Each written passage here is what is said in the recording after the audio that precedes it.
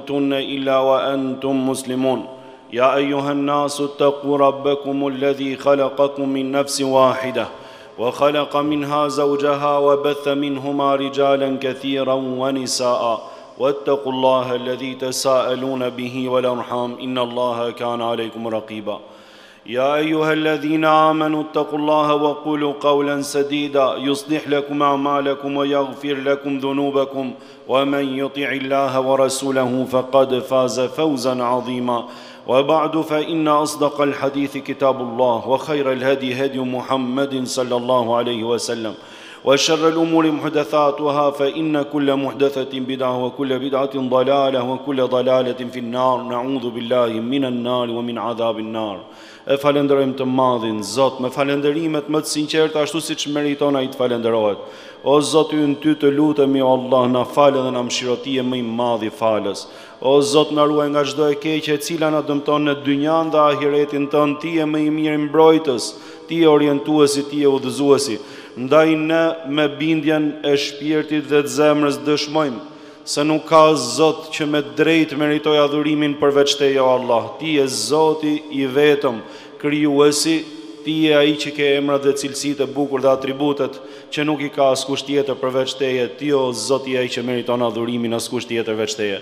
Wa ashhadu anna Muhammeden abduhu wa rasuluhu.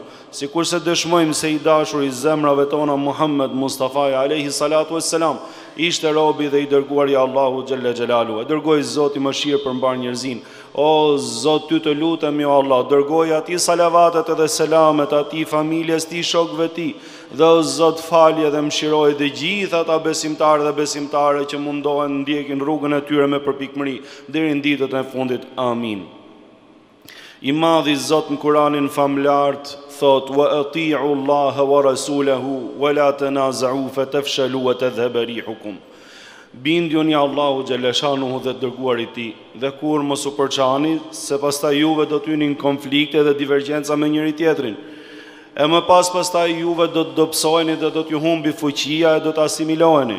Është një ajet të cilin e zbriti Allahu xheleshanuhu dhe është shumë kuptimplotë. I madhi Zot na thotë bindjuni Allahut dhe bindjuni profetit tij. Janë Dy bazat kryesore pra nga e cila merret feja, është Libri i Allahut dhe është tradita dhe Syneti i Profetit alejhi salatu ue selam. Është shembulli i gjallë i Muhamed Mustafas alejhi salatu ue selam. E vëllezër të nderuar, nëse njeriu i bindet Allahut xheleshanu ose Profetit alejhi salatu ue selam, së pari duhet t'i dojë me gjithë shpirt edhe me gjithë zemër, sepse nuk mundet njeriu t'i bindet dikujt që nuk e don. Prandaj, sa më shumë ta duash Allahun xheleshanu, sa më shumë ta duash Profetin alejhi salatu ves selam, aq më shumë i ndjek këto pra dhe aq më shumë i bindesh porosive të tyre. Dijetarët e tefsirit çfarë thonë?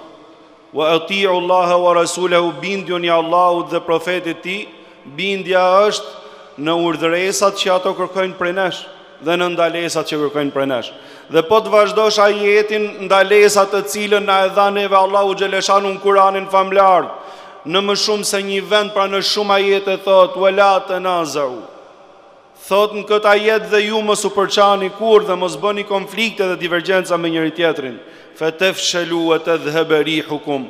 Ai i cili krijoi jetën e di më së miri se si funksionon jeta. Ai i cili na bëri neve musliman, e din më së miri se si duhet të jenë muslimanët dhe na urdhëroi ne nuk e la në dorën tënde që të zgjedhësh të jesh i përçam apo i bashkum, porse e bëri urdhër siç janë edhe urdhëresat edhe ndalesat e tjera, ashtu siç na ndaloi nga shumë gjëra dhe është mëkat që t'i bëjmë ato, Gjithashtu na ndaloi edhe nga përçarja dhe është mëkat për ata të cilët fusin përçarje dhe bëjnë përçarje midis njerëzve, midis muslimanëve, midis bashkëshortëve, midis kombit, midis një bashkësie. Ata të cilët pra janë përçarës janë njerëzit më të këqinj. Prandaj thotë Allahu xheleshanu, Nëse juve do të përçaheni me njëri-tjetrin, juve do të dështoni, do të dështoni, ju do të dështoni, do t'ju humbi fuqia, do t'ju, nuk do keni me vete ndihmën e Allahut xheleshanu. Wa tadhhab rihukum, do të dobësoheni shumë, nuk do keni fare ekzistencë, nuk do t'ju llogarisi kush, do jeni njerëz pa peshë, do jeni njerëz që jeni si jeni, nuk ju fut njeri në kandar edhe në llogari. E këtë gjë e don vetëm se armiku i Allahut shejtani i mallkum. Këtë gjë e don shejtani dhe ata të cilët punojnë për rrugën e shejtanit që mos të eci feja islame, që mos kenë bashkim muslimanët, që mos të jenë bashkë ata të cilët i falen Allahu xheleshanuhu, vetëm se shejtani dhe ata të cilët punojnë për shejtanin e mallkum. Vetëm ata të cilët pra nuk e dun fenë e Allahu xheleshanuhu, nuk e dun Allahu, nuk e dun profetin alayhi salatu wassalam e bëjnë këtë gjë edhe fusin sherr, edhe fusin grindje, edhe fusin përçarje midis muslimanëve. Profeti alejhi salatu ue selam thotë, Tetedâ'a alejkumul umem, Do të vijë dita, që mbi ymmetin musliman do të vërsulen gjithë popujt edhe ymmetet e tjerë. Shifni gjendjen e muslimanëve sot. Do të vërsulen, do të vërsulen siç vërsulen ata të cilët ulen në sofër që të hanë pra nga ajo, nga ushqimi i tyre. Imagjinoj ymmeti islam është ushqimi dhe të gjithë kush të mori i copë, kush të kapi i copë, njoni kënej tjetri anej, tjetri kënej. U çuditën sahabët e Profetit alejhi salatu ves selam, si mund të vijë kjo ditë që muslimanët pra të trajtohen kështu, edhe besimtarët mos kenë asnjë peshë, edhe të jenë pre e të gjitha duarve tjera. Dhe i thonë Profetit alejhi salatu ves selam, "Ewa min qilletin yawma idhin ya Rasulullah." A mos vallë o i dërgumi Allahut do të jemi pak at ditë? Se nuk mund të konceptohet pra ndryshe vetëm se me qenë pak të dobët edhe të gjithë mund të bëjnë me ty çfarë dun. Ti je i dobët, nuk ke ekzistencë, nuk ke numër, nuk ke shpirt, je pa ndikim, je pa influencë e mundet gjithkush të bëjë me ty gjithçka. I thotë Profeti alejhi salatu ue selam, Jo thotë. Belentum kethir, juve do të jeni shumë, shumë do të jeni. Shtohen besimtarët, shtohen muslimanët. Walakinnakum ghutha'un ka ghutha'is sejl, porse juve jeni pa peshë, jeni si shkuma detit, është shumë shkuma detit, shumë, porse ajo shkrihet edhe asimilohet, humb, humbet, është shumë po humbet pa peshë, është shkumë, nuk ka asi lloj, asi lloj peshë, asi lloj gjoje, vjen edhe ikën. E prandaj vllai im edhe motra ime, desha me të thonë drejtpërdrejti të drejtohem, Çfarë peshe ke ti në fenë e Allahut xheleshanuhu? A i bindesh Allahut edhe Profetit alejhi salatu ves selam? A ke lidhje të fortë me Kur'anin, me librin e Allahut? A ke ti ndikim në ambientin edhe në lagjen ku jeton? Çfarë peshe edhe çfarë gjurme ke lënë? Ky Kur'an edhe ky Islam i mësoi ato burra Profetin alejhi salatu selam dhe sahabët e të dërgumit pra, alejhi salatu e selam, Zoti qoftë i kënaqur me ta, i mësoi që të shndrohen në njerëz të mirë.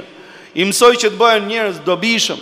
që të lejnë vesët, të lejnë të këqijat, të lejnë inatet personale, të lejnë pra ato gjëra të cilat të lejnë mrapa dhe të ngrihen, të ngrihen lart shpirtërisht, të ngrihen lart me zemër, të ngrihen lart me me dashurinë për njëri tjetrin për tek Allahu xheleshanuhu me u afru. Sot neve dumë me bo gjona të mëdhoja edhe kujtojmë se feja është vetëm te dy gjona ose te tre gjona, të cilat janë shumë të rëndësishme as nuk diskutohet.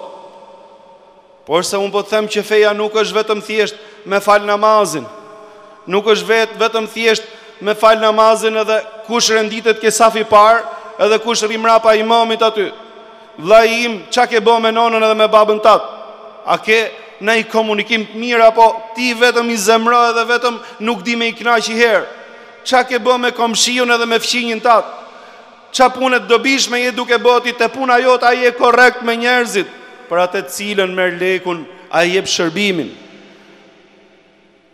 Gjithashtu, nëse ke fëmijë, a i ke arsimu fëmijët edhe a i ke eduku fëmijët? Për veten tate a ke bo shkollë që t'jesh i pari i shkollës edhe të marosh me mësime shumë mirë, t'jesh i shkëlqyshëm, t'jesh besimtar, shembullor, kudo që t'jesh me sjellje, me moral edhe me të gjitha pra me arritjet e tuja. Pastaj mos me thonë ça ke bo për kombin tat, ça ke bo për venin tat, ça ke bo për lagjen tate. Ky është muslimani i mirë dhe ky është muslimani i dobishëm. E në momentin që nuk ke ndikim, si je, si nuk je, nuk llogaritesh, sepse ti nuk e dite me ngrejt relata dhe nuk e dite me majt raporte me njerëzit, por se fenë e ke bo shumë të ngushtë e ke vetëm për veten tate edhe fillon i klasifikon njerëzit edhe i ndan njerëzit. Pastaj do të shohësh se si futet përçarja edhe se si futet edhe dashje pa dashje bëhesh pra ushtar i të keqes edhe bëhesh misionar i të keqes që me fut përçarje ke njerëzit me fut përçarje ke rradhët e besimtarëve Zoti na rujt. Thot Allahu xheleshanuhu Wa'tasimu bihablillahi jami'an wa la tafarraqu kapuni fort pas litarit Allahut xheleshanu dhe kurrë mos u përçani Litari i Allahut është Libri i Allahut, është Profeti i Allahut, është feja e Allahut. Këto të treja janë kuptimet që i kanë dhënë dijetarët e Islamit. E kush kapet pas Librit të Allahut, pas Profetit të Allahut sallallahu alaihi wasallam dhe pas fesë Allahut xhelle xhelaluhu, pa dyshim që ky kurrë nuk mund të përçahet. Ai i cili e don Allahun, e don Profetin alaihi salatu wasallam nuk përçahet. Ai i cili i bindet Allahut edhe i bindet profetit alejhi salatu ves selam, nuk mundet me urry muslimani dhe nuk mundet me i urry njerëzit edhe me urry ata të cilët pra duhet të jetë njeri që ndjen keqardhje edhe për ato që s'janë të udhëzum, jo më për vëllezërit e tij musliman. Prandaj thot profeti alejhi salatu ves selam, juve do jeni shumë Do jeni si shkuma detit, por se problemi është se juve keni një smundje elwehen. Elwehen, i thanë çfarë është elwehen ja Resul Allah? I thotë hubbu dunja wa kerahiyetul maut. Dynjanë e doni shumë edhe urreni vdekjen. Ndërkohë që në kohën e Profetit alejhi salatu ves selam ato të cilët neve pretendojmë se i ndjekim vdekjen s'e kanë pas problem. Sepse e kanë ditë që vdekja është stacioni i cili të ndan me botën tjetër, sepse e kanë ditë që nuk mundet me e pa Allahun që e dun aq shumë me zemër edhe me shpirt vetëm se mbas vdekjes, prandaj e kanë pas kollaj edhe s'e kanë pas problem fare, edhe në qoftë se vjen këtë moment, e dinë që do shkojnë ke Zoti i tyre se janë mundu me shpirt edhe me zemër me e dashë Allahun xheleshanu. I kanë dashë muslimanët, i kanë dashë besimtarët të cilët e dunë Allahun xheleshanu dhe kurrë nuk kanë bo vetëm se mirë edhe kur nuk kanë pas mundësi me bo mirë të paktën nuk kanë bo keq. Thotë Allahu xheleshanuhu, uedhkuru nimet Allahi alejkum, idh kuntum adaen fe ellefe bejne kulubikum fe asbahtum bi nimetihi ihuana. Përkujtoni, juve o shokët e Muhamedit alejhi salatu ves selam. Përkujtoni dhe juve o musliman, kur juve ishit përpara se Allahu xheleshanu t'ju udhëzojë juve, ishit të përçamë. Gjithsecili ndiqte pra atë karakterin e vet, ndiqte pasionet e veta, ndiqte interesat e veta. E në momentin që futesh Islam pastaj bashkohesh dhe vllazërohesh, e nuk mund të jetë ndryshe. Nuk mund të jetë ndryshe sepse këtë kërkon Allahu xheleshanu prej nesh. E Allahu Xheleshanu juve ju shpëtoi thot nga buza e greminës që ishit duke rënë n'greminë, ishit duke shku në humbje të qartë, ju shpëtoi juve edhe ju udhëzoi për në fenë e bukur. Pastaj thot Allahu Xheleshanu jeume tebjeddu uxhuhun ve tesveddu uxhuh. Ditën që do të dili përpara Allahu Xheleshanu, në atë ditë të madhe, do të ketë fytyra që do zbardhen dhe fytyra që do nxihen. Thot Abdullah ibn Abasi, Fytyrat që zbardhen janë ato që e kanë dash Allahun xheleshanu, e kanë dash profetin alejhi salatu ue selam. Janë ata të cilët kanë kontribu mirë për Islamin dhe për muslimanët, janë ata të cilët kanë shpërnda vetëm mirësinë, ndërsa ata të cilët do të nxihen janë ata që kanë kontribu me sherr tek Islami dhe ke muslimanët, janë grupacionet, janë të devijumit, janë njerëzit të cilët pra vetëm fusin përçarje dhe njerëzit të cilët Bëjnë sikur e duan Allahun xheleshanuhu, por se faktikisht me veprat e tyre ato vetëm mbjellin përçarje dhe mbjellin urrejtje, madje i bëjnë njerëzit ngaiherë edhe Allahun mos me e dash, Zoti na rujt me veprat e tyre. Profeti alejhi salatu ue selam na thotë në një hadith të saktë, a t'ju tregoj juve se kush është më e dashur tek Allahu xheleshanuhu sesa namazi nafile, agjërimi nafile, Sesa sadëkaja nafile, sesa të urdhërosh për të mirë dhe ndalosh nga e keqa, ndërkohë që urdhërimi për të mirë dhe ndalimi nga e keqa është detyrë për çdo musliman. I thonë, Po i Dërguari i Allahut, thotë, Islahu dhatil bejn, është rregullimi midis muslimanëve, pajtimi midis njerëzve. Të bëhesh sebeb që mos të ndahen njerëzit, por se të bashkohen, kjo është më e mirë se sa namazi nafile, agjërimi nafile, se sa sadëkaja nafile, që të gjitha këto janë të dashura tek Allahu xheleshanu, dhe se sa urdhresa për të mirë dhe ndalesa nga e keqa. Sepse thot profeti alejhi salatu vesselam, përçarja është shkatërruese. Nuk shkatërron individin, por shkatërron fenë e Allahut xheleshanu. Përçarja është shkatërruese, shkatërron bashkësinë edhe unitetin e muslimanëve që është shumë i domosdoshëm dhe është obligim për gjithsecilin pra që të punojë në këtë drejtim. A nuk e ke pa vlla im se si Profeti alejhi salatu ue selam në rastin kur njeriu do me bashku dy njerëz ka thënë që njeriu edhe mundet të gënjejë për mirë pra Edhe mundet të gënjej, si të gënjej, po po të gënjej për mirë, thot fjalë mbase që njëri s'i ka thënë për mirë për këtë edhe thot fjalë për krahun tjetër që krahu tjetër nuk i ka thënë për të, sepse ka nijetin që me bashku edhe me afru dhe kjo nuk quhet gënjeshtër tek Allahu xheleshanu. A nuk e ke parë se si profeti alejhi salatu ue selam, ditën që çliron Mekën dhe hyn triumfator, i thot Aishes radiallahu anha mbasi e kishte çdo gjë n'dorë dhe të gjithë ishin bërë muslimanë, i thot o Aishe, Do të doja thotë me gjithë shpirt që këtë Qabe, këtë Qabe që kemi neve sot, ta shkatërroj, ta rrënoj dhe ta ngrej edhe një herë nga themeli siç ka qenë themelet e Ibrahimit alejhi selam, siç e ka pas ndërtuar profeti i Allahut ditën që e ndërtoi. Porse, duke qenë se populli yt është i ri në Islam, kam frikë se mos e keqkuptojnë, mos futet përçarje. Imagjino edhe për Qaben, vet i dërgumi i Allahut thot, do doja thot, ta shkatërroja dhe i herë dhe ta bëja siç ka qenë në themelet e Ibrahimit, sepse Qabja nuk ishte në themelet e Ibrahimit, pra kishte lëviz mbasi është rrënu e kanë ndërtu dhe e kanë lëviz pak nga themelet e Ibrahimit alayhis salam.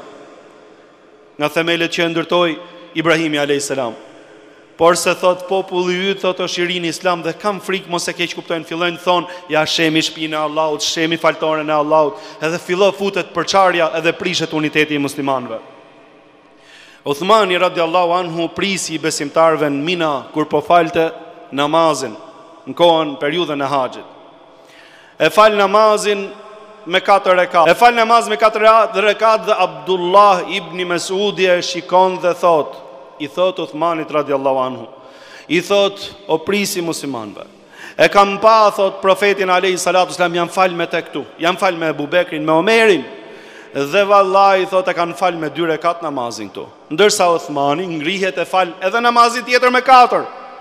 Dhe Abdullah ibn Mesudi çfarë do të bënte menoni juve? E kishte pa profetin alejhi salatu selam me sytë e veta. E kishte pa Ebu Bekrin me sytë e veta, e kishte pa gjithashtu edhe Omerin me sytë e veta. Dhe ai e fali namazin 4 rekat siç e fali Othmani radiallahu anhu. Mbas namazit dikush i erdhi dhe i tha, si ka mundësi, ti na the neve dy, ke pa profetin alejhi salatu selam. I thot, el khilafu sherr, përçarja është sherr, përçarja është sherr, ndërsa U bote fjalë për farzin, u bote fjalë për namazin e rëndësishëm. E neve kemi falë namaz nate, ka pas njerëz që ka kap na njonin këtu, mos u fal, mos u bëj, mos u ashtu, mos u kshu, ndërkohë që ka dietar plot të Islamit, të cilët e thonë që kjo është e pëlqyeshme, është e dashur, e ça t'keqe ka me qajt për Allahun xhelleshanuhu. Me u lutë dhe me bë dua bashkë me muslimanët për Allahun xhelleshanuhu, Allahu i shton safet dhe i shton besimtarët të gjithë. E duke fut përçarje ke njoni e ke tjetri e duke bë muhabete sikur s'ka Ramazan, sikur s'ka pas Ramazan. E ku është uniteti dhe ku është bashkimi? Vllai im qoftë se nuk të pëlqen, mos u fal, nuk ka problem. Qoftë se nuk e shef të arsyeshme, nuk mendon do me qenë në rregull me një mendim tjetër të dijetarëve të Islamit, nuk ka asnjë problem. Po vallahi përçarja është sherr. Je duke i shërby shejtanit dhe je duke i shërby pra të keqes. E dije që unë e kam thënë edhe e them fenë e shto Allahu edhe edhe e përçon Allahu xheleshanu ne jemi vetëm thjesht sebebe mos mendo se inati që ke ndaj dikujt pra është i mirë për ty shife se është duke të çu inati ose ose smira ose duke të çu mendjemadhsia duke të çu që me fut përçarje dhe me i hyn hak Allahut dhe me i hyn hak xhamisë Allahut me i hyn hak profetit Allahut me i hyn hak fesë Allahut Ki kujdes vallahi se kjo është rëndë. E ditën që do dalim neve para Allahut xheleshanu nuk e di se si do të jenë pra fytyrat, a do të jenë zbardhura apo do të jenë fytyrat e nxira Zoti na rujt dhe Zoti na mëshiroftë. Amin.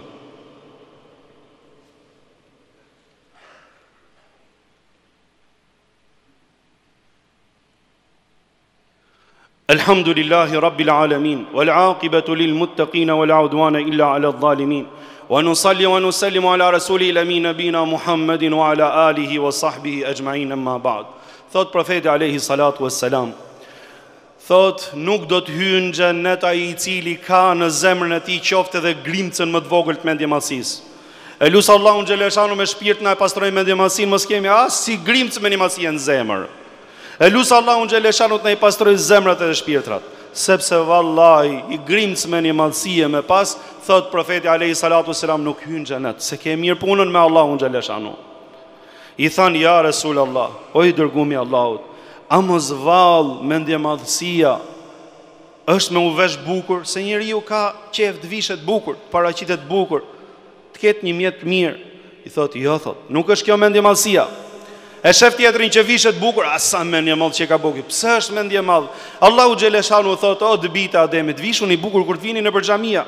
Dijetarët e Islamit po t'i shikosh, vishen të gjithë bukur, pastër, të parfumosur, sepse kështu ka pas qen edhe profeti alayhi salatu wasalam. Nuk është kjo mendjemadhësia. Mendjemadhësia, vëlla im, është, siç e thot profeti alejhi salatu ves selam, thot refuzimi i të vërtetës dhe përçmimi i njerëzve. Refuzimi i të vërtetës dhe përçmimi i njerëzve. Ditën që dikush të thot diçka që është e vërtetë, a prej teje s'më pëlqen me e mor, me thonë drejtën, nuk e mor dot prej teje. Ndërkohë që duhet me mor vetëm nga filoni, vetëm nga filoni. Imam Maliku radiallahu anhu rahimahullah, Zoti qoftë i kënaqur me të dhe Zoti e mëshiroft, Imam Maliku çfarë thotë? Kullun yu'khadhu min qawlihi wa yurad illa sahibu hadha al-qabr. Jepte mësim n'xhaminë e profetit alayhi salatu wassalam dhe kishte varrin e dërguarit Allahut aty ngjitur pranë dhe thotë çdokujt i merret Dhe i lihet thënia thotë përveç atij që është në këtë varr, Profetit alejhi salatu selam. Kush vjen këtu me na mush menin se ka ndonjë që është i pagabueshëm, e ka gabim, ky është gabimtar i parë. Kush vjen këtu me na mush menin që o filani o ramë vdiqëm, nuk bëhet llaf që e ka gabim, as nuk diskutohet. Nuk është kështu feja islame, nuk është kjo feja e dijetarëve të Islamit. Feja e dijetarëve të Islamit është që të ndjekësh Allahu, ndjekësh Profetin alejhi salatu ves selam, kuptimin e dijetarëve të Islamit, porse mos me u përçah, kur ka dy mendime, tre mendime të cilat bazohen në argumente, gjithsecili e shef aty ku i duket më e sakta që me qenë më në rregull me Allahun xheleshanu po pa bo fitne, pa bo përçarje, pa fut urrejtje midis muslimanëve, kjo është feja e Allahut xheleshanu, merrni edhe pyesni gjithë dijetarët e Islamit, në botën islame, në tokën islame dhe do të shifni se kjo që po ju them unë është përgjigja. Absolutisht asni gjë tjetër përveç kësaj. E në ditën që do dalësh para Allahut xheleshanuhu, si do t'i vejë halli kur të shohësh që ke pas mendjemadhësi në zemrën tate? I fëmijë i vogël me ta thonë të vërtetën ke për ta marrë, je i detyruar me e marrë, sepse ajo është prej Allahut xheleshanuhu, prej Profetit alejhi salatu, jo se është prej këtij, jo. Kushdo me ta thonë të vërtetën, ka pas raste që me aprovimin e Profetit alejhi salatu ves selam edhe prej shejtanit kanë mësu sahabët, i dimë të gjithë hadithet. Kur thotë të vërtetën, prandaj duhet me pas kujdes, mos me i shërby të keqes. Thotë Profeti alejhi salatu ves selam në një ngjarje që nisi disa sahabë, thotë la jusal-lijenne ahadukum el asra il-la fi Beni Kurejda. Askush mos ta falë prej jush iqindinë vetëm se në fisin Beni Kurejda. Dhe shpjegimi i dijetarëve të Islamit ishte Që Profeti Alejhi Salatu Selam ja tha këtë fjalë që ato të shpejtojnë edhe të arrisin sa më parë tek fisi Beni Kurejda. Rrugës është duke dalë koha e namazit t'iqindisë. Dhe dikush u ndanë njerëzit në dy grupe. Dikush tha që duhet ta falim namazin sepse po del koha, ndërsa të tjerët thanë, jo, i dërguemi i Allahut neve na ka thënë që ta falim iqindinë tek fisi Beni Kurejda kur të arrisim atje. Edhe sikur të kalojë koha, ai e di më së miri se ai na ka urdhëru edhe ai na ka thonë kështu. Imagjino ça ngjarje interesante! Atëherë, një pjesë e muslimanëve e falën namazin në kohën e vet, kurse pjesa tjetër e falën kur arritën ke fisi Beni Kurejda. A mund të jetë e vërteta dy? Një është e vërteta. Dijetarët e Islamit thonë këto grupi i parë që e falën në kohën e vet kanë pas të drejtë. Kështu e shpjegojnë dijetarët e Islamit. Dhe kur shkojnë tek Profeti Alejhi Salatu Ves Selam, Ja tregojnë historinë dhe buzëqeshi Profeti alejhi salatu ves selam. Nuk qortoi as palën e parë dhe as palën e dytë. Nuk pamë neve që këto sahabë të cilët u kundërshtuan me njëri tjetrin dhe patën mos mos përputhje mendimi, mos t'i japin selam njëri tjetrit, mos t'i flasin, të fillojnë të fusin urrejtjen, ne kishim drejt, ju s'boni, ju nuk i ndiqni Profetin alejhi salatu ves selam, ju nuk e doni dërgumin e Allahut, ju nuk e doni fenë e Allahut, ju s'jeni me të vërtetën, ju s'jeni kështu duke akuzuar, duke shpif, vallahi s'kemi pa kështu. Bashkë e vazhdun rrugën, bashkë u kthyn, bashkë shkun e pytën edhe Profetin alejhi salatu ves selam, sepse ata e kuptun që nuk duhet me fut përçarje midis muslimanëve.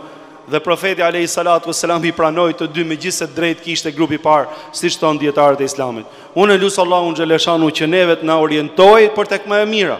Që neve Allahu xhelle xhelaluhu të na ndriçojë me dritën e Islamit, neve të na bëjë tolerantë me njëri tjetrin, të na bëjë të mëshirshëm, Të na bëjë të dashur edhe të na shtojë dashurinë për njëri tjetrin, sepse dashuria për muslimanin është adhurim, të afron tek Allahu xheleshanu, të dush ata të cilët i don Allahu ose ata që e dun Allahun xheleshanu, kjo të afron edhe të ngren gradët te Allahu. Sikurse edhe të urresh ata të cilët i dun Allahun ose i don Allahu xheleshanu, ato të ka gjet belaja mo dhe Zoti na ruajt. Dikush nuk e bë llogari sepse Allahu xheleshanu kshu e kalon kët punë, nuk është se ta bi Dënimin në kokë direkt, sa të bësh i gjynof, t'ishte ashtu kishim për të marrë fund të gjithë neve zoti na rujt. Edhe fillo e kujto se i pëlqe kjo punë edhe i duket normal hë se s'ka problem, nuk ka naj gjo, se edhe atyre banorëve të atij fshati ditën e shtunë kshu thanë kur e bonë gjynofin thanë hë se s'paska gjo, nuk ka problem, fillim u tremën se mos na gjej gjo, nuk t'gjeti gjo, bone i gjynof, nuk është e thonë me të të vijë dënimi direkt edhe të të vijë shkatrimi i Allahut direkt, absolutisht. Kështu që duhet me pas kujdes o vllezër të nderum sepse punët ke Allahu xheleshanu nesër wallahi ai që ka fryk Allahun xheleshanu është i kujdesshëm qoftë se nuk bo dot mirë të paktën nuk bo dot sherr zoti na rujt e lus të madhin zot na fali ne t'i fali prindit tanë gjithë besimtarët edhe besimtaret amin inna Allahe ya'muru bil adli wal ihsani wa ita'i dhil qurba